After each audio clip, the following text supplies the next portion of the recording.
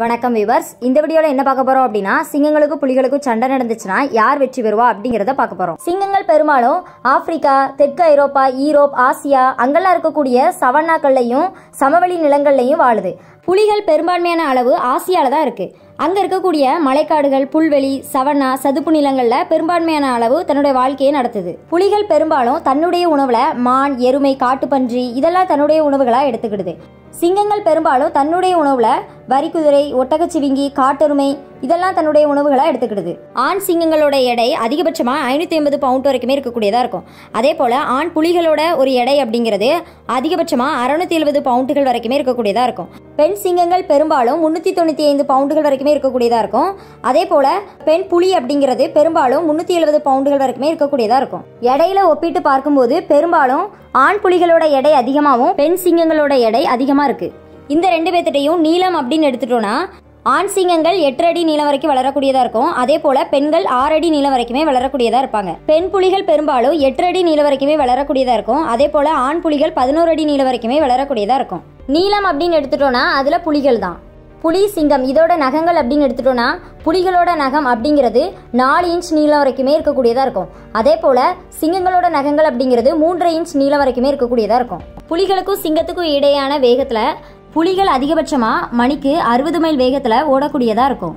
அதே போல சிங்கங்கள் மணிக்கு முப்பத்தஞ்சுல இருந்து ஐம்பது மைல் வேகத்துல ஓடக்கூடியதா இருக்கும். பைட் ஃபோர்ஸ் அப்படின்னு எடுத்துட்டோம்னா சிங்கங்கள் அறுநூத்தம்பது பிஎஸ்ஐ வரைக்குமே இருக்கும். அதே போல புலிகள் ஆயிரத்தி ஐம்பது பிஎஸ்ஐ வரைக்குமே இருக்கும். ரொம்ப திறமையான இந்த ரெண்டு விலங்குகளும் வேட்டையாடுறதுக்காக சில உத்திகளை பயன்படுத்துது. புலிகள் பெரும்பாலும் தனித்து வாழக்கூடிய விலங்கு. தனியாவே வாழ்ந்து தனியாவே வேட்டையாடக்கூடிய ஒரு விலங்கு. ஆனா இந்த விலங்குகள் அப்படிங்கிறது சிறந்த முறையில நீச்சல் அடிக்கவும் தெரியும். அதே போல நீர்நிலைகள்லையும் இதால சிறந்த முறையில வேட்டையாட முடியுது. புலிகள் தன்னுடைய இரைகளை பதுங்கி இருந்து வேட்டையாடக்கூடியதா இருக்கு. புலிகள் பெரும்பாலும் காடுகளில் வாழக்கூடியதுனால அந்த புலிகள்கிட்ட இருக்கக்கூடிய அந்த கோடுகள் அப்படிங்கிறது நிழல் பகுதிகளில் நிற்கும்போது நல்ல ஒரு உருமறைப்பை கொடுக்குது.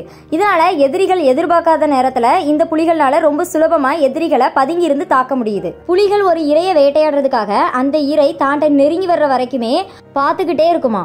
அதுக்கப்புறமா அது ஒரு குறிப்பிட்ட அளவுக்கு வந்ததுக்கு அப்புறம் புலி தன்னுடைய மின்னல் வேகத்தை பயன்படுத்தி அந்த விலங்கை பின்தொடர்ந்து அந்த விலங்கோட கழுத்தை கவ்விருது. புலிகள் தான் வேட்டையாடின இலைகள் மிச்சம் இருந்துச்சு அப்படின்னா அதை மண்ணு மூலமாவோ இல்லைனா இலைகள் மூலமாவோ மூடி வச்சு அதுக்கப்புறமா அது வேண்டியப்போ அது சாப்பிடுமா?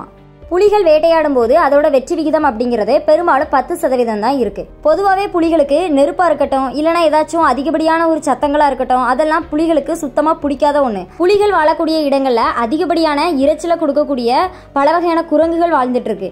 இந்த குரங்குகள் ஒலி எழுப்பும் போது மற்ற எல்லா விலங்குகளும் ஒரு எச்சரிக்கையாயிருது. இதனால பெரும்பாலும் தனித்து வேட்டையாடக்கூடிய இந்த புலிகளுக்கு பெரும்பாலும் அதோட வெற்றி வாய்ப்புங்கிறது பறி போயிருது தான் குறிவச்ச விலங்குகளை வேட்டையாட முடியாம திரும்பி வந்துருது. சிங்கங்களோட வாழ்க்கை முறைகளா இருக்கட்டும் இல்லைனா அது வேட்டையாடுற முறையா இருக்கட்டும் ரொம்பவே வித்தியாசமானது. காரணம் சிங்கங்கள் கூட்டமாக தான் வாழும் அதே போல சிங்கங்கள் கூட்டமாக தான் வேட்டையாடும். இந்த குழுவில் கிட்டத்தட்ட முப்பது நபர்கள் வரைக்கும் இருக்காங்க. அதிகபட்சமாக நிறைய பெண்கள் நாலு ஆண்கள் அதே போல அதோட குட்டிகள் எல்லாருமே இருக்காங்க. தொண்ணூறு சதவீதம் பெண் சிங்கங்கள் தான் வேட்டையாடுறாங்க. ஆண் சிங்கங்கள் வேட்டைக்கு போறதுங்கிறது ரொம்பவே அதிசயமான ஒண்ணுதான். சிங்கங்கள் பெரும்பாலும் தன்னோட வாழ்க்கையை தூக்கத்திலே கழிக்குது. பெண்கள் ஒரு நாளைக்கு பத்தொன்பது மணி நேரமும் அதே போல ஆண்கள் ஒரு நாளைக்கு இருபத்தோரு மணி நேரமும் தூங்குறாங்க. சிங்கங்கள் பெரும்பாலும் தன்னுடைய வேட்டையை இரவு நேரத்துல தான் செய்யுது. அப்படி இது செய்யும்போது நல்ல ஒரு சுறுசுறுப்பா இருக்கணும் அப்படிங்கிறதுக்காக பகல் நேரத்துல அதிகப்படியா தூங்குது. சிங்கங்கள் கூட்டமா வேட்டையாடும் போது அந்த விலங்குகளை துரத்தி அதை சுத்தி வளைச்சி அந்த விலங்குகளை தாக்குது. இதனால் அது பெரும்பாலும் சோர்வடைஞ்சு சிங்கத்திட்ட மடிய வேண்டிய ஒரு சூழ்நிலைக்கு தள்ளப்படுது. சிங்கங்களை பத்தி சொல்லக்கூடிய இன்னொரு ஒரு விஷயம் என்ன அப்படின்னா சிங்கங்கள் தனக்கு உணவு தேவைப்படும் பட்சத்துல மட்டும் வேட்டையாடும். அதே போல சிங்கங்கள் பெரும்பாலும் நீர் யானை யானை இந்த மாதிரி பெரிய விலங்குகள்கிட்ட இருந்து அதிகப்படியாக வேட்டையாடணும் அப்படிங்கிற ஒரு ஆர்வம் அதுகிட்ட இருக்காது. ஆனால் தனக்கு உணவு தேவை அப்படிங்கிற அந்த ஒரு நோக்கத்துக்காக கண்டிப்பாக எந்த ஒரு பெரிய விலங்குகளாக இருந்தாலும் எதிர்த்து போராடுமா. சிங்கங்கள் குழுக்களாக வேட்டையாடும் போது அதோட வெற்றி விகிதம் முப்பது சதவீதம் இருக்கு. அதுவே அது தனியாக வேட்டையாடுச்சு அப்படின்னா பகல் நேரங்களில் பத்தொம்பது சதவீதம் இருக்குமா. சிங்கங்களுக்கும் புலிகளுக்கும் சண்டை நடந்துச்சுன்னா யாருடைய வெற்றி அதிகமாக இருக்கும் அப்படின்னா பண்டைய ரோமில் ஆப்பிரிக்க சிங்கங்களுக்கும் ஆசிய புலிகளுக்கும் இடையான ஒரு பொழுதுபோக்குக்காக ரோமானிய பேரரசர்கள்னால ஒரு போட்டி நடத்தப்பட்டுச்சு. அரங்கத்தில் நடத்தப்பட்ட அந்த போட்டியில் பெரும்பான்மையான அளவு புலிகள் தான் வெற்றி அடைஞ்சது. அதே போல் ரெண்டாயிரத்தி பத்தில் அங்காரா ஜூவில் நடந்த ஒரு மிகப்பெரிய ஒரு சம்பவம் என்ன அப்படின்னா சிங்கத்தோட கண்காட்சிக்குள்ள புலி வந்து நுழைஞ்சிட்டு. அந்த புலி என்ன பண்ணுச்சுன்னா சிங்கத்தை தன்னுடைய ஒரே பாதத்து மூலமா அடிச்சு அதை கொன்னுட்டு. இதே போல ஆயிரத்தி தொள்ளாயிரத்தி பதினாலுல பிராங்க்ஸ் உயிரியல் பூங்கால நடந்த இன்னொரு ஒரு கடுமையான போட்டியில இறுதி வரைக்குமே போட்டி நடந்துச்சு. அந்த போட்டியில புலிகள் சிங்கத்தோட கழுத்து எலும்பு உடைச்சி சிங்கங்களை வீழ்த்திட்டு. இப்படி நடந்த பல போட்டிகளில் சிங்கங்கள் அதிகப்படியான ஒரு தோல்வியை தான் அடைஞ்சிருக்கு. பூனை குடும்பத்தில் உள்ள மிகப்பெரிய உறுப்பினர் அப்படின்னா அது புலிகள். ரெண்டாவது சிங்கங்கள் இருக்கு. ஆனால் இந்த ரெண்டு இனங்களுமே அதோட கிளை இனங்களை பொறுத்து சில மாறுபாடுகள் இருக்க தான் செய்யும். ஆனால் நம்ம அதிகபட்சமாக எடுத்தோம் அப்படின்னா அதிகப்படியான எடை கூர்மையான பற்கள் நகங்கள் மூர்க்கத்தனம் அதே போல சுறுசுறுப்பு தண்ணீர்ல நீந்தக்கூடிய திறன் மரங்கள்ல ஏறக்கூடியது இந்த மாதிரி அதிகபட்சமா புலிகள்கிட்ட தான் இருக்கு. புலிகள் ஒரு சிங்கங்களை தாக்குச்சு இல்ல ஏதாச்சும் ஒரு விலங்குகளை தாக்குது அப்படின்னா பெரும்பாலும் தன்னுடைய பின்னங்கால்களை நம்பி தான் இருக்கு. பின்னங்கால்கள் முன்னங்கால்களை விட நல்லா நீளமா இருக்குமா? இதனால புலிகள்னால ரொம்ப சுலபமா பின்னங்கால்கள்னால சிறிது நேரம் நிற்க முடியும். ஆனா சிங்கங்கள் பெரும்பாலும் தன்னுடைய ஒரு கால்களை பயன்படுத்தி எதிரிகள் எப்படிப்பட்டவங்க அப்படிங்கிறத தீர்மானிச்சுட்டு அதுக்கப்புறமா தன்னுடைய தாக்குதலை தொடருது. அப்படி அது தொடரும் போது அதிகபட்சமா சிங்கத்தினால தன்னுடைய பாதங்களை பயன்படுத்தி நானூறு பவுண்ட் வரைக்குமே எடைகளை எதிரியோட உடம்புல அடிக்கிற அளவுக்கு இருக்குமா? சிங்கங்கள் அதிகபட்சமா தன்னுடைய ஒற்றை பாதங்களை வச்சு தாக்குறத காட்டிலும் புலிகள் தன்னுடைய இரண்டு முன்னங்கால்களை அதிகப்படியா தாக்குதலுக்கு பயன்படுத்தும் போது இது சிங்கங்களை காட்டிலும் இதுக்கு அதிகப்படியான ஒரு பலமா இருக்கு. சிங்கங்களுக்கும் புலிகளுக்கும் கிட்டத்தட்ட முப்பது பற்கள் இருக்கு. அதுல நாலு கோரை பற்கள் இருக்கு. இந்த பற்கள் பெரும்பாலும் தன்னோட இரையை வேட்டையாடுறதுக்காக அதோட தோலை கிழிக்கிறதுக்காகவும் இரைகளை பிடிக்கிறதுக்காகவும் உதவுது. சிங்கங்களோட கோரைப்பற்கள் ஏழு சென்டிமீட்டர் நீளமுடையதா இருக்கும். அதே போல புலிகளோட கோரைப்பற்கள் அப்படிங்கிறது ஒன்பது சென்டிமீட்டர் நீளமுடையதா இருக்கும். இதுவும் பெரும்பாலும் புலிக்கு சாதகமாக தான் இருக்கு. அதே போல சிங்கங்களோட தாடை வலிமை அப்படிங்கிறது ரொம்ப பலமானதா இல்லை. காரணம் இது குழுக்களா வேட்டையாடுறதுனால ஒரு தனிப்பட்ட சிங்கத்தோட தாடை வலிமை அதிகமா இருக்கணும் அப்படிங்கிற அவசியமும் இல்லை. ஆனா புலிகள் அப்படி இல்லை. தனக்கு உணவு வேணும் அப்படின்னா தன்னுடைய முழு பலத்தை கொண்டு ஒரு விலங்கை வீழ்த்தினா மட்டும்தான் இதால சாதிக்க முடியும். நல்ல வளர்ந்த ஒரு ஆண் சிங்கம் இருக்கு அப்படின்னா அதோட பிடரிமயிர் அப்படிங்கிறது இதுக்கு நல்ல ஒரு பாதுகாப்பை கொடுக்குது. அதோட கழுத்தை சுத்தி இருக்கிறதுனால அதோட கழுத்துக்களை நல்ல ஒரு பாதுகாப்பான ஒரு கவசமா இருக்கு. ஆனால் என்னதான் இருந்தாலும் தொண்ணூறு சதவீத வேட்டையை பெண் சிங்கங்கள் தான் பண்ணுது.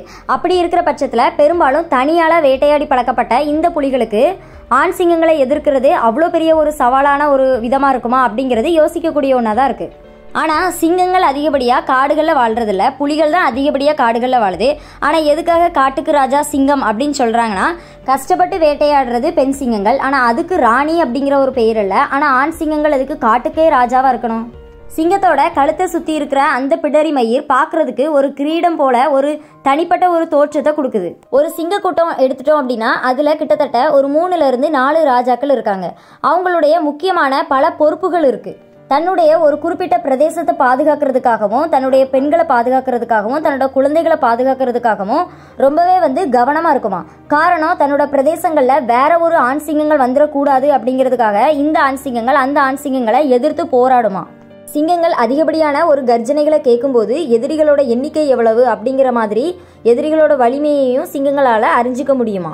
சிங்கங்கள் பெரும்பாலும் யானைகள் காண்டாமிருகம் இந்த மாதிரி பெரிய விலங்குகளை வேட்டையாடுறதுக்கு அதிகப்படியாக விரும்பாது. காரணம் சிங்கங்களுக்கு தெரியும் அந்த ஒரு விலங்குகள் நம்மளை எதிர்த்து போராட முடியும் அப்படின்னு. ஆனால் சிங்கங்கள் பின்வாங்காது. காரணம் அதுக்கு அதிகப்படியான உணவு தேவைப்படுறதுனால வேட்டையாடணும் அப்படிங்கிற ஒரு கட்டாயத்தில் இருக்கிறதுனால அது ரொம்ப பயம் இல்லாமல் செயல்படுது. சிங்கங்கள் ரொம்பவே வந்து பயம் இல்லாத ஒரு விலங்கு. அதாவது ஹைனா யானை காண்டாமிருகம் இந்த மாதிரி கூட்டங்கள் நிறைஞ்சு வாழக்கூடிய விலங்குகள்கிட்டையும் சிங்கங்கள் பயம் இல்லாம எதிர்த்து நின்று போராடுது. சிங்கங்களோட ஆதிக்க குணம் ரொம்பவே அதிகமா இருக்குமா? சிங்கங்கள் போல குழுக்களா வேட்டையாடுறதா இருக்கட்டும் இல்லனா குடும்ப வாழ்க்கைகளா இருக்கட்டும் இந்த மாதிரி பல காரணங்கள் புலிகள்கிட்ட இல்ல அப்படிங்கிற ஒரு காரணம் தான் புலிகளை காட்டுக்கு ராஜாவா ஆக்கல. புலிகளுக்கும் சிங்கங்களுக்கும் இடையே நடத்தப்பட்ட பல போர்கள்ல எதுவுமே இயற்கையான முறையில அதோட வாழ்விடங்கள்ல நடந்தது இல்லை. எல்லாமே வந்து ஒரு சிறைபிடிக்கப்பட்ட நிலைமையில நடந்தது தான் இதனால இந்த ஒரு வெற்றி அப்படிங்கிறது கண்டிப்பா புலிகளுக்கு சாதகமாக தான் இருக்கும். தனியாவே வேட்டையாடி பழகின புலிகளுக்கு சிங்கங்களை வே தனியா வேட்டையாடுறது அவ்வளோ பெரிய சவாலா இருக்காது. புலிகள் ரொம்ப கடுமையாக தாக்கக்கூடியதாக இருக்கும். அதே போல் இதோட தாக்குதல் அப்படிங்கிறது எப்போவுமே உடனடி தாக்குதலாக தான் இருக்கும். ஒத்தைக்கு ஒத்தையாக சண்டை வைக்கும்போது அதில் புலிகள் அதிகப்படியான ஒரு வெற்றியை அடைஞ்சாலும் கடைசி வரைக்குமே போராட்ட குணம் இருக்கக்கூடிய சிங்கங்கள் பெரும்பாலும் தன்னுடைய தோல்வியை ரொம்ப சுலபமாக ஒப்புக்கொள்றதில்ல. அது முடிஞ்ச மட்டும் போராடும். கழுத்தை கவ்வாத அளவுக்கு அதோட பிடரிமயிர் பாதுகாப்பாக இருக்கு. போராட்டத்தில் சில சமயங்களில் சிங்கங்கள் வெற்றி பெறதுக்கான வாய்ப்புகளும் இருக்கு. இந்த வீடியோ உங்களுக்கு மிகவும் பயனுள்ளதாக இருக்கும் அப்படின்னு நான் நம்புறேன். இந்த வீடியோ உங்களுக்கு பிடிச்சிருந்தா லைக் பண்ணுங்க ஷேர் பண்ணுங்க கமெண்ட் பண்ணுங்க.